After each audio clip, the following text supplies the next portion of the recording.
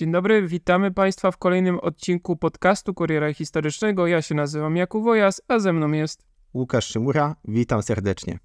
Dzisiaj porozmawiamy o sanacji, a właściwie o tym, czy sanacja uzdrowiła Polskę, a pretekstem do tego spotkania jest kolejna pozycja z wydawnictwa literackiego. Jest to książka profesora Włodzimierza Mędrzeckiego odzyskany śmietnik, jak radziliśmy sobie z niepodległością w II Rzeczpospolitej. Ale zanim przejdziemy do meritum, krótkie przypomnienie, można nas wspierać przez Patronite albo postawić nam wirtualną kawę w serwisie Buy Coffee 2.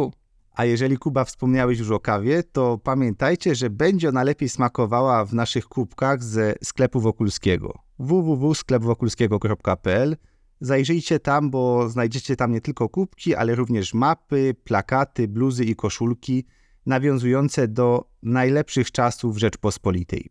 A przechodząc do tematu dzisiejszego odcinka, to trzeba sobie na początku odpowiedzieć na takie podstawowe pytanie, moim zdaniem, czy w ogóle była potrzebna ta sanacja? Czy państwo polskie znajdowało się w takim kryzysie, że, że tylko właśnie ten nieskazitelny wódz ta ostoja narodu, jego duma, Józef Piłsudski musiał wziąć to wszystko za twarz i, i zrobić porządek. Bo oczywiście y, propaganda sanacyjna tak starała się przedstawić sytuację, że, że Polska była o krok od katastrofy, natomiast jak sobie spojrzymy na y, fakty, no to nie wyglądało to tak najgorzej. Rząd Władysława Grabskiego, który zakończył swoją działalność 13 listopada 1925 roku, chociaż w końcowej fazie był ostro krytykowany, to z dzisiejszej perspektywy widzimy, że y, dosyć niesłusznie, bo te jego reformy dały nam y, stopniową stabilizację i te pierwsze miesiące roku 26 były całkiem obiecujące. Właściwie od samego początku roku 26 mamy do czynienia ze stabilizacją sytuacji gospodarczej. Z miesiąca na miesiąc coraz sprawniej działał aparat państwowy i samorządowy, a dodatkowo te ramy prawne systemu podatkowego, a także mm, te reformy finansowe wprowadzone przez Grabskiego zaczęły przynosić realne korzyści. Zakończył się problem z regularnymi wypłatami dla pracowników sektora publicznego. Dodatkowo też Korpus Ochrony Pogranicza doprowadził do stabilizacji w rejonach przygranicznych. Nie dochodziło już do mniejszych czy większych zamieszek, które miały miejsce e, w latach wcześniejszych. I myślę, że warto jednak zrehabilitować postać Władysława Grabskiego, bo był to e, sprawny polityk i bardzo przyzwoity ekonomista. I ten rząd techniczny, na czele którego stał, e, podjął się bardzo trudnych reform, i, i trzeba przyznać, że były to reformy w dużej mierze pozytywne i skuteczne. Po upadku rządu grabskiego powołany rząd, na czele którego stanął hrabia Aleksander Skrzyński, to też nie był rząd, który chciał się skonfrontować z Piłsudskim. Y, w skład, jego skład weszli przedstawiciele od lewa do prawa, czyli od y, Polskiej Partii Socjalistycznej do Narodowej Demokracji, a tekę ministra spraw wojskowych powierzono Lucjanowi Żeligowskiemu, generałowi niezwykle silnie związanemu z Józefem Piłsudskim. Był więc to rząd y, konsensusu, współpracy różnych środowisk i nie można mówić, że Józef Piłsudski nie miał wpływu na to, na czemu najbardziej zależało. Rząd ten upada niestety po kilku miesiącach, no i w maju dochodzi do kolejnej próby utworzenia rządu Hienopiasta, czyli rządu centroprawicowego, na czele którego staje Wincenty Witos. I to bardzo nie spodobało się marszałkowi, który wtedy już ostatecznie decyduje, że przejmie władzę siłą, tylko pamiętajmy, że to nie jest tak, że, że nagle w maju Piłsudski wpadł na ten pomysł, bo szykował się do tego już dużo wcześniej, już w roku 25 czy w latach poprzednich widać pierwsze próby nie tylko bezpośrednio jego, ale ludzi związanych z nim od lat, że to jest, czekałem tylko na właściwy moment, na moment przesilenia politycznego, który pozwoli im e, gładko przejąć władzę, a jak się okazało, tak gładko tej władzy nie dało się przejąć. Tak, oczywiście się z Tobą zupełnie nie zgodzę. E, problem polegał na tym, że Piłsudski nie tyle chciał przejąć władzę, jak to się stało po 26 roku, co wpływać na tą władzę jako taki demiurg, jako taki mąż opatrznościowy, jako e, właśnie taki autorytet, który wpływa na tą władzę i wszyscy się podporządkowują jego woli. I problem polegał nie na poprzednich rządach Grabskiego czy Skrzyńskiego, problem polegał na tym, co może się zdarzyć po powołaniu rządu Witosa. Witos e, źle się zapisał w, na kartach e, historii, no, znaczy w, w, związku z wydarzeniami z, 20, z 1923 roku, z pacyfikacją protestów robotniczych e, w Krakowie, ale też w innych e, miejscach. I to, co opisuje właśnie profesor Mędrzecki w książce Odzyskany śmietnik, e, tutaj warto zaznaczyć, że w tym czasie, w II Rzeczpospolitej, istniała bardzo mocna polaryzacja sceny politycznej na dwa obozy: obóz endecki i obóz antyendecki. I Piłsudski występował jako lider tego obozu antyendeckiego. I co się wiązało z powołaniem rządu Witosa? Rząd Witosa, koalicyjny właśnie z endekami, mm, zapowiadał, i to były zapowiedzi w prasie endeckiej, a także w oficjalnych programach, likwidację przywilejów lewicowych, między, między innymi 8-godzinnego dnia pracy, ograniczenia przywilejów związkowych, e, zmiana okręgów wyborczych. I to mm, powoduje, znaczy w mojej opinii, to jest jeden z takich czynników, który wpływa na całą ocenę tego, co się działo później, czyli na zamachu majowego. Sam zamek majowy miał być demonstracją zbrojną, nie tyle przechwyceniem, zbro... E, nie tyle przechwyceniem władzy, czyli tym, czym się stał w rzeczywistości, ale demonstracją zbrojną, która skłoniłaby prezydenta Wojciechowskiego e, do dymisji rządu e, Witosa, do niepowołania tego rządu, do zablokowania e, tej kandydatury, do zablokowania stworzenia tej, tego koalicyjnego rządu. Zresztą Wojciechowski przecież był starym przyjacielem PPS-owskim Piłsudskiego i właśnie Piłsudski właśnie oczekiwał, że ten stary przyjaciel e, będzie się liczył z jego zdaniem, zwłaszcza, że e, wojsko e, też było przeciwne w znacznej części było przeciwne e, rządowi Witosa, bo e, endecy zapowiadali czystki w wojsku spośród oficerów legionowych i jeżeli e, legionowych czy piłsudczykowskich również, bo Żeligowski nie był w legionach, albo na pewno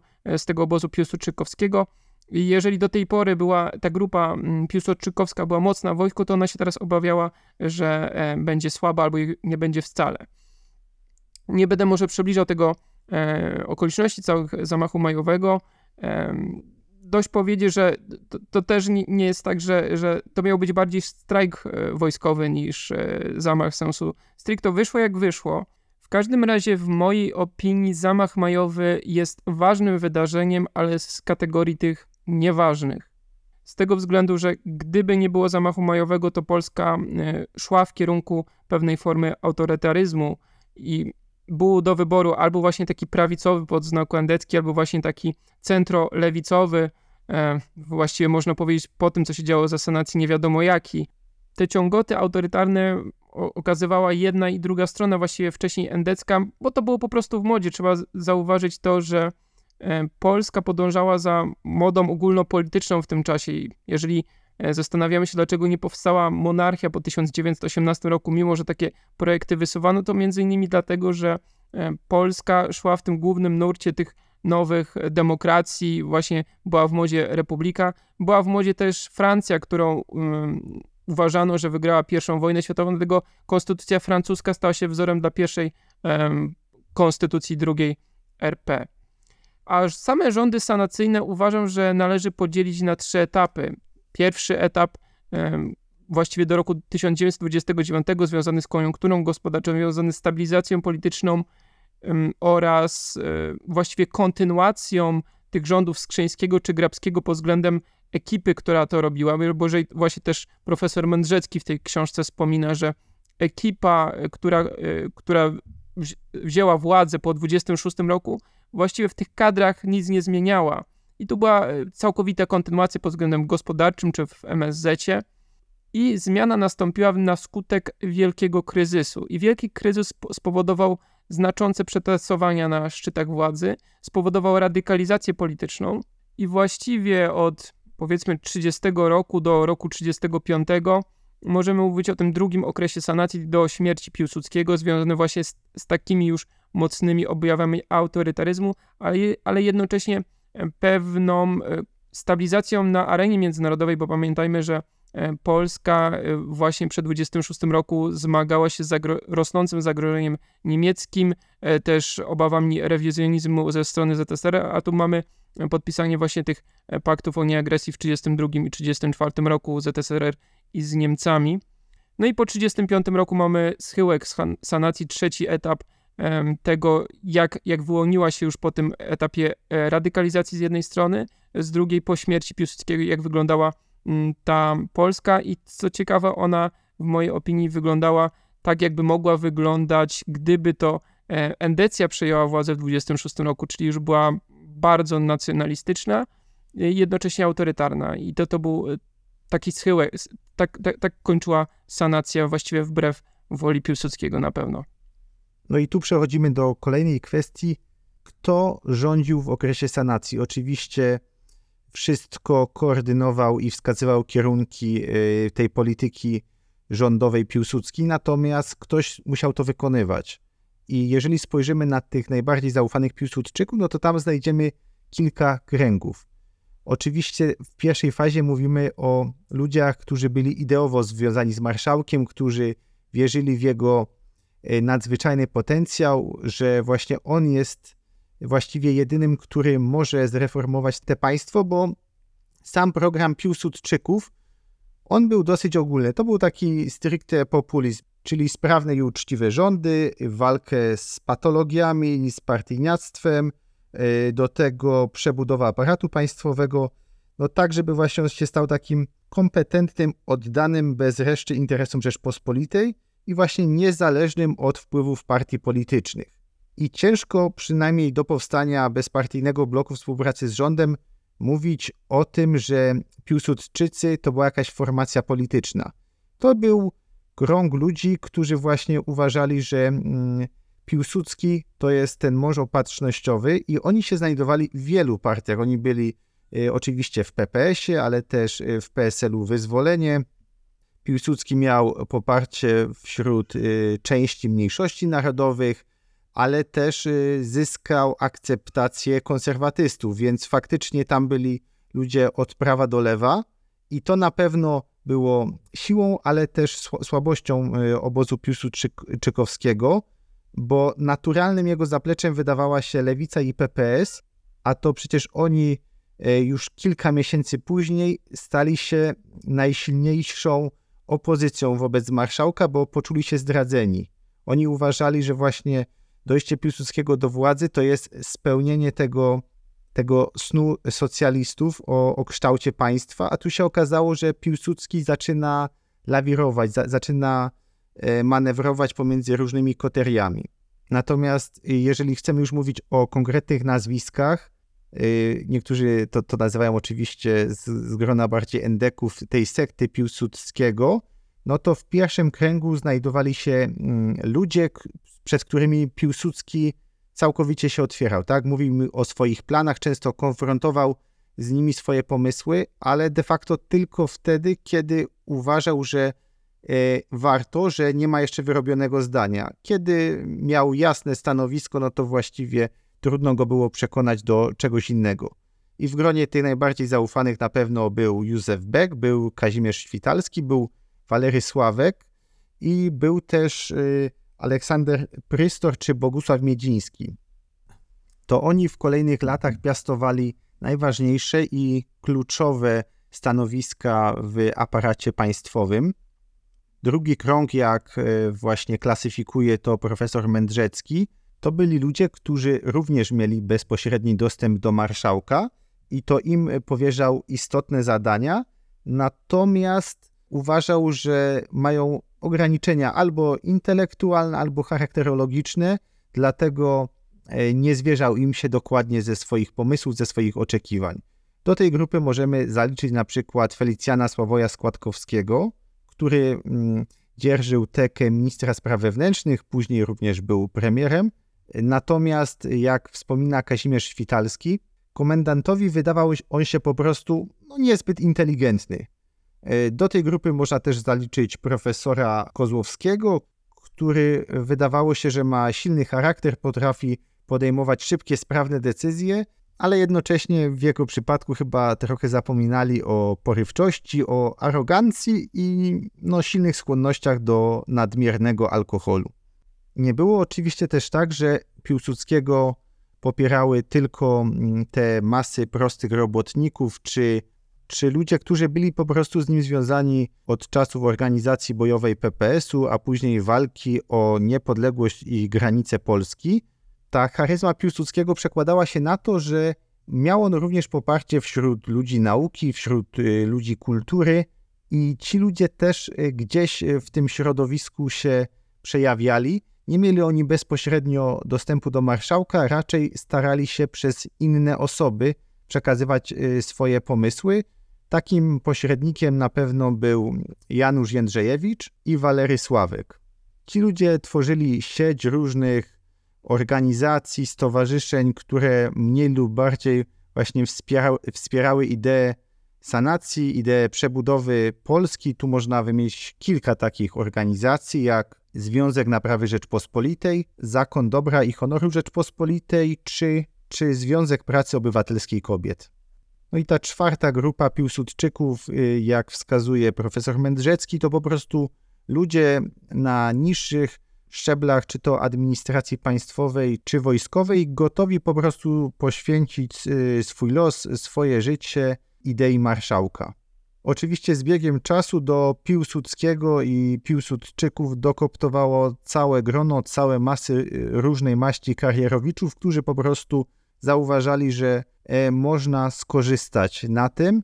Oczywiście ci starzy y, towarzysze Piłsudskiego gardzili tym środowiskiem, natomiast było czasami one im potrzebne i później stanowiło dosyć istotną siłę w tych wszystkich rozgrywkach, koteriach y, po śmierci marszałka.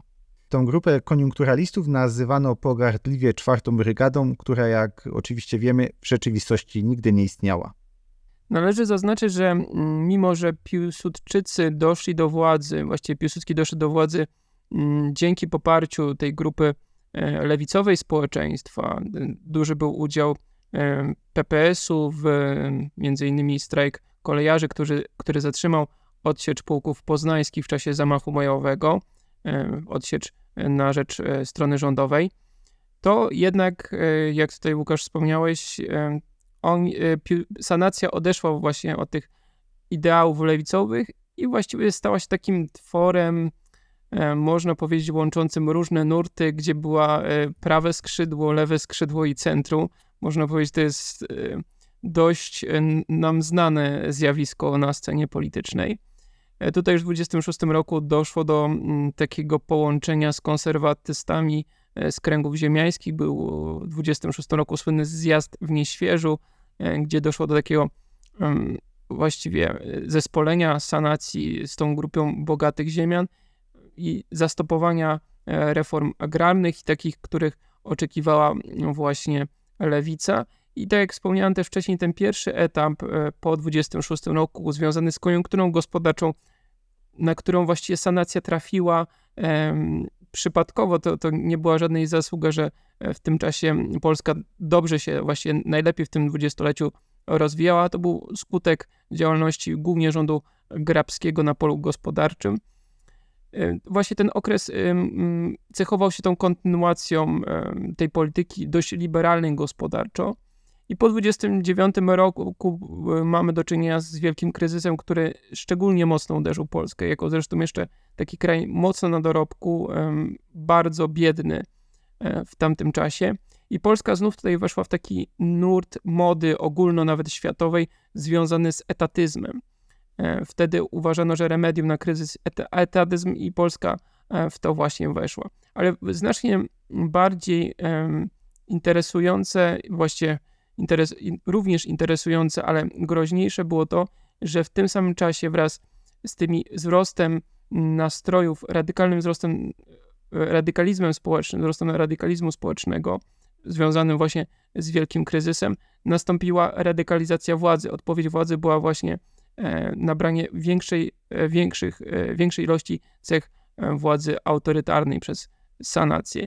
I takim punktem granicznym, często przyjmowanym przez historyków, są wybory brzeskie w 1930 roku, w którym to doszło do mm, zatrzymania przywódców centroleu, czyli tej grupy lewicowo-centrolewicowej mm, przywódców politycznych i osadzenia ich w twierdzy mm, brzeskiej, gdzie zresztą byli poddawani torturą. Tutaj warto zaznaczyć, że ten proces w pierwszej instancji był całkowitą farsą, aczkolwiek druga instancja przeszła już bez większego echa, gdyż umożli umożliwiono też ucieczkę większości e, tych polityków. Oni zostali upokorzeni, byli torturowani, prześladowani, ale też e, nie, nie wiązało się to e, z, z, z fizyczną likwidacją, także ta władza była już brutalna, ale nie właśnie na taką modłę stalinowską. Tutaj można jeszcze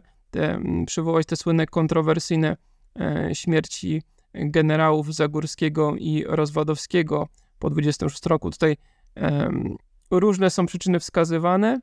E, niektórzy uważają, że Rozwadowski akurat zmarł z przyczyn naturalnych, aczkolwiek pobyt w więzieniu e, w Antokolu w Wilnie mógł na to wpłynąć. Zagórski to jest bardziej zagmatwana e, historia związana z jego działalnością w spółce Frankopol i i aferami gospodarczymi, o jakie go podejrzewano i ewentualnymi związkami ze służbami specjalnymi Francji.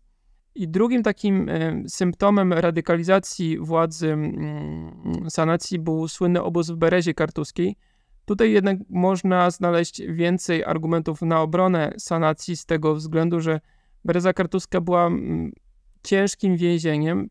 Problem polegał nie tyle na samym pobycie w mm, w Berezie Kartuskiej, na warunkach, jakie tam e, panowały, ale na tym, na e, w jakim trybie byli umieszczani tam więźniowie. Trzeba też pamiętać, że nie było to ostrze skierowane przeciwko mm, polskiej opozycji, co y, kierowano to głównie przeciwko komunistom i y, ukraińskim nacjonalistom. Przede wszystkim na tym się skupiano po 1935 roku, po śmierci Piłsudskiego. To się trochę zmieniło. Trafił tam innymi Stanisław Cat-Mackiewicz, który zresztą wspominał, że najcięższą karą mm, w Berezie Kartuskiej była, był brak możliwości oddawania stolca. Ale nawet w dzisiejszych czasach Bereza Kartuska nie musi być aż taką abstrakcją. E, jeżeli sobie przypomnimy sprawę tajnych więzień CIA na polskim terytorium, to Bereza Kartuska jednak była czymś lżejszym, aczkolwiek E, też nie można powiedzieć, że było to, e, były to wczasy.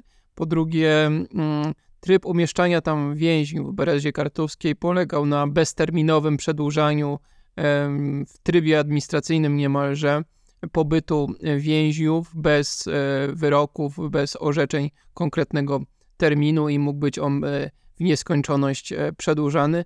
No cóż, dzisiaj mamy areszty wydobywcze, które też się przedłużają w nieskończoność, czy czy ośrodek e, dla tak zwanych bestii w Gostyninie, gdzie umieszcza się e, szczególnie groźnych przestępców już po odbyciu wyroku, także na taki bezterminowy, nie wiadomo mm, jaki czas. Także to, to nie są zjawiska, które e, dzisiaj są nie do wyobrażenia nawet w współczesnym państwie polskim.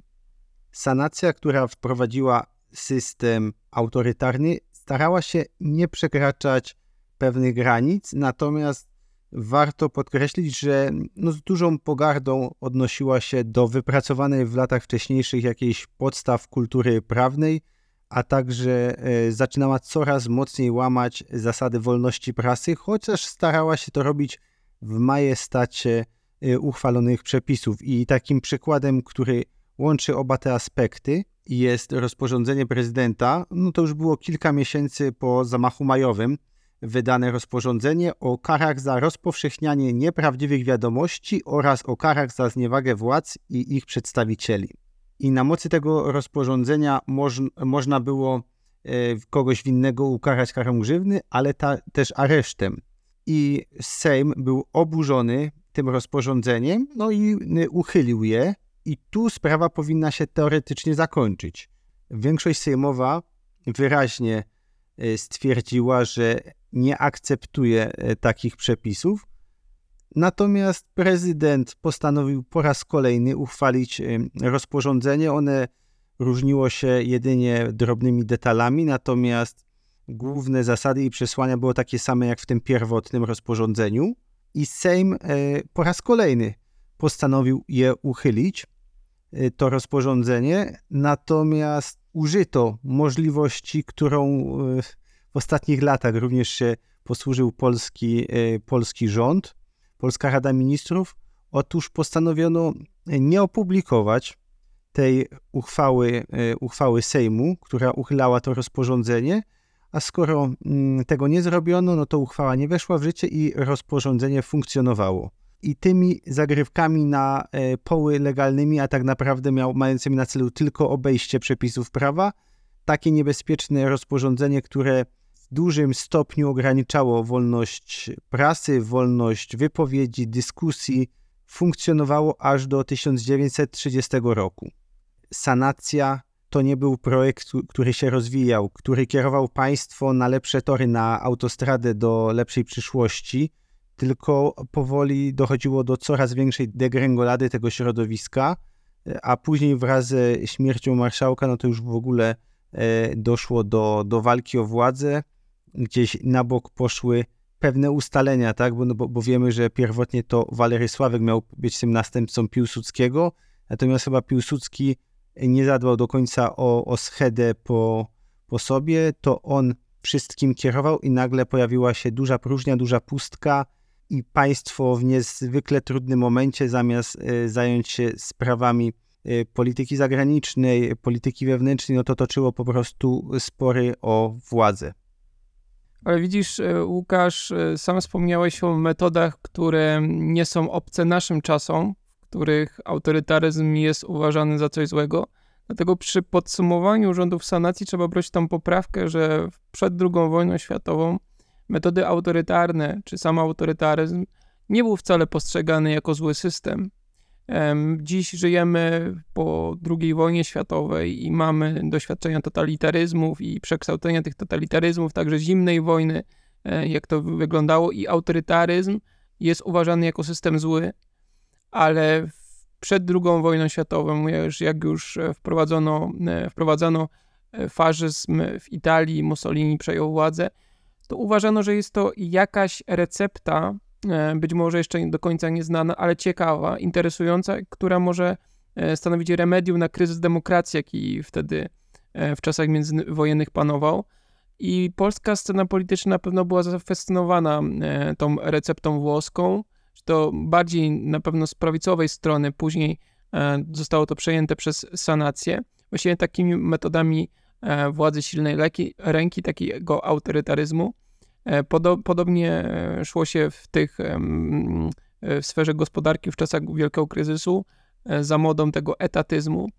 Polska w żaden sposób nie, nie wyróżniała się, czy to na tle Europy, świata pod tym względem tutaj no, jest poprawka na te e, stare demokracje francuską czy brytyjską, ale w pozostałych krajach e, no, tendencje były wyraźne w, w, stronę, e, w stronę autorytaryzmu i Polska w żaden sposób tutaj nie była inna i tu też trzeba wziąć taką bardziej mniej znany wątek związany z, z całą kulturą polską jeszcze przed odzyskaniem przez Polskę niepodległości, kiedy to nurt młodej Polski e, poszukiwał takiego męża opatrznościowego, było, było takie nastawienie, że Polska odzyska e, niepodległość dzięki jakiemuś wybitnemu przywódcy. Takie, te, takie wątki mesjanistyczne e, odradzały się i Piłsudski był takim uosobieniem męża opatrznościowego.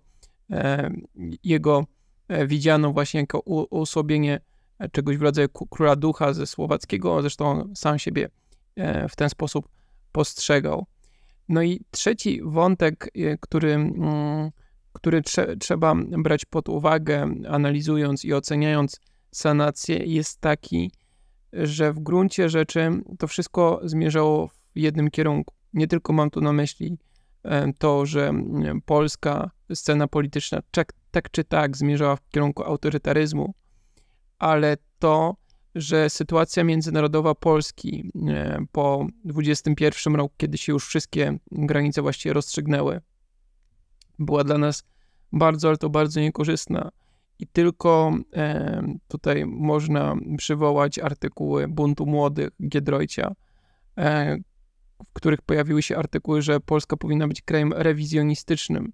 nie powinna bronić ładu wersalskiego, z tego względu, że ten ład wersalski w żaden sposób nie gwarantował jej bezpieczeństwa. Niestety, ład wersalski nie był stabilny e, i ład wersalski wcześniej czy później doszłoby do jego rozpadu, a Polska, jej położenie geopolityczne po I wojnie światowej, jej ukształtowanie po 21 roku powodowało to, że jest zbyt słaba, żeby oprzeć się zarówno Niemcom i Sowietom. I wielce prawdopodobne było to, że zostanie przez któreś z tych państw połknięte, czy to e, w sensie dosłownym zostanie wcielone e, w, e, w granice któregoś z tych państw, podzielone, czy znajdzie się w strefie wpływu. I tutaj można też przywołać jeden z naszych filmów dotyczących celów niemieckich w I wojnie światowej, czy Niemcy na pewno przegrały I wojnę światową. Bo jeżeli spojrzymy na plan Mittel Europy, który zakładał budowę szeregu państw e, oddzielających e, Niemcy od Rosji, to to się ziściło. Te państwa, żadne z nich nie było na tyle silne, żeby móc stanowić skuteczną przeszkodę przeciwko Niemcom, ale były na tyle, mm, było ich na tyle dużo, że mogły stanowić barierę przeciwko, przed Rosją ale jednocześnie mogły być znaczącym graczem politycznym. I to niestety mm, zmierzało w jednym kierunku. No, polska sanacja próbowała stworzyć odpowiedź w postaci tego mitycznego międzymorza. To było o tyle, e, o tyle to było mądre, że to było jedyne właściwe, e, właściwe rozwiązanie w tym momencie, żeby budować jakąś koalicję państw. Ale z drugiej strony to, było, to była mrzonka. Państwa, e, państwa Europy Środkowej i Wschodniej, które powstały po 1918 roku, były mocno ze sobą skonfliktowane i utkanie czegokolwiek, jakiegoś mm, podmiotu politycznego e, z tej, z tej mozaiki e, państw i państwek było bardzo, bardzo, ale to bardzo trudne. I sądzę, że Piłsudski doskonale sobie zdawał z tego sprawę. E, sądzę, że jego polityka, zwłaszcza no, międzynarodowa, mówiło się, że Piłsudskiemu, Piłsudski był zainteresowany dwoma rzeczami, armią i polityką zagraniczną. I w tej polityce zagranicznej dostrzegał coraz bardziej, że e, to wszystko zmierza ku katastrofie i on sam zresztą mówił, że te traktaty z Niemcami i ZSRR o nieagresji dają nam jedynie chwilowe odetchnienie, przerwę, która ma nam pozwolić na przygotowanie się być może, być może, e, być może na kolejną rozgrywkę, która e, albo zakończy się wojną, albo, albo próbą uniknięcia jej, przedłużeniem, jeszcze kupieniem tego czasu. Tak czy tak, zawsze e, jak o tym myślę, to mam e, w głowie e, jeden z wierszy Czesława Miłosza, który przedstawił Piłsudskiego miotającego się jako duch po belwederze i powtarzającego w kółko, że on tylko te kamienie historii zatrzymał na chwilę, że to jest jedynie taka przerwa i póki on żyje jako taki heros, jest możliwe utrzymanie tej Polski, bo on jedyny jak, jakby wie więcej, przynajmniej tak jego mm, współpracownicy go postrzegali. Jedyny orientuje się, do czego to wszystko zmierza. Niestety, jakkolwiek byśmy oceniali Piłsudskiego, to nie można mu odmówić pewnego zmysłu po, politycznego. Nie można mu odmówić, że on e, czuł czasy. I właściwie dla jego legendy szczęśliwie się złożyło, że e, zmarł w tym okresie właśnie przed, przed tym gwałtownym pogorszeniem tej sytuacji, że jego legenda mogła tylko wzrosnąć po, po śmierci Piłsudskiego, czy to polityka wewnętrzna, czy zagraniczna, jednak uległa pogorszeniu. I ci, mm, ta schyłkowa sanacja e, no, zapisała się już tragicznie. I można właśnie ten okres tych, ten po, e, przed Piłsudski, znaczy rządy Piłsudskiego i rządy sanacji po śmierci Piłsudskiego to jest już e, zupełnie coś innego. I wrócę tutaj do tej e, konkluzji, e, do tego mojej opinii związanej z zamachem majowym, że to było ważne wydarzenie, ale z kategorii tych nieważnych, bo niestety tu już taka wchodzi taka deterministyczna, deterministyczna wizja historii, związana z tym, że zmierzaliśmy czy to w polityce wewnętrznej, czy w polityce zagranicznej w jednym kierunku, a Piłsudski trochę próbował ten kierunek zmienić, ale niestety przegrał. I sądzę, że jego największą tragedią było to, mimo że jest uważany dzisiaj jako jeden e, z naszych największych bohaterów narodowych, mimo swoich kontrowersji, jednak e, ma to miejsce w panteonie bohaterów XX stulecia polskich. to on doskonale sobie zdawał sprawę, że u tego schyłku życia on przegrał wszystko. Mimo, że przejął władzę, mimo, że był dyktatorem w 18 roku raz, później po 26 bardziej jako taki w ramach takiego rządzenia, stylnego siedzenia, to żadne z jego koncepcji, żadne z jego planów, wizji, marzeń się nie zrealizowało. Także y, i ci jego następcy też doskonale sobie zdawał, też można wyczytać właśnie z książki profesora Mędrzeckiego opinie o, o, o Rydzu, o poszczególnych jego współpracownikach, że to mm, oni nie pociągną tego dalej. On, on sądzę, że z tyłu głowy wiedział, że, że przegrał wszystko i to jest wielka tragedia, że osobiście E, osobiście, no, no właściwie no, e, marzenie życiorys. E, osiągnął szczyty władzy, ale w sensie takim swoich własnych wizji, marzeń, planów wobec własnej ojczyzny przegrał kompletnie wszystko. I to jest właśnie takie gorzkie też podsumowanie rządów sanacji, że te ostatnie 4 lata były mm, były z jednej strony, jak e, profesor Mędrzecki pokazuje, lepsze, pokazywały stabilizację, że Polska zmierzała jednak do jakiegoś ustabilizowania i pewnie y, już się ustabilizowała. Niedługo wyemitujemy też na tym kanale wywiad z profesorem Mędrzeckim, gdzie on tłumaczy, że y, ta że pokazuje też tą lepszą stronę, podobnie w książce mamy tą lepszą stronę. Polski, nie tylko te złe rzeczy czy niedociągnięcia, ale też druga RP miała autentyczne osiągnięcia, ale jednocześnie ta sanacja w chwili próby, jakkolwiek e, znaleźliby się tutaj obrońcy e, ekipy, która opuszczała terytorium Polski 17 września 1939 roku, to jednak to wydarzenie właśnie z tego dnia no jednak rzuca poważny cień i na pewno bardzo zawsze będzie ważyć na ocenie rządów sanacji. Ja może tylko jednym zdaniem mm, do tego, Kuba, co powiedziałeś. Piłsudski i e, ludzie, którzy przejęli władzę po nim, przypominają trochę sytuację opiekuna i, i dzieci i osób, które są ubezwłasnowolnione całkowicie albo częściowo i potrzebują tego kuratora lub opiekuna prawnego. I tu nagle dochodzi do tego, że one osiągają pełnoletność, nie ma tego opiekuna, nie muszą się go słuchać, sami mogą podejmować decyzje, mają pełną zdolność do tych czynności, natomiast okazuje się, że cały czas były pod pewnym kloszem i nie mają ani wizji, ani umiejętności, brakuje im takich kompetencji, więc y, ta, ta legenda, ta siła marszałka ich tak przyćmiła, że nikt nie był zdolny później wziąć odpowiedzialności za losy kraju na swoje barki. A jak chcecie dowiedzieć się więcej o tym, jak wyglądała właśnie sanacja po śmierci Piłsudskiego, jak doszło do tego triumviratu, do walk o władzę, no to zapraszamy też na nasz główny kanał, bo przygotowaliśmy odcinek o tej tematyce. Myślę, że na dzisiaj to wszystko.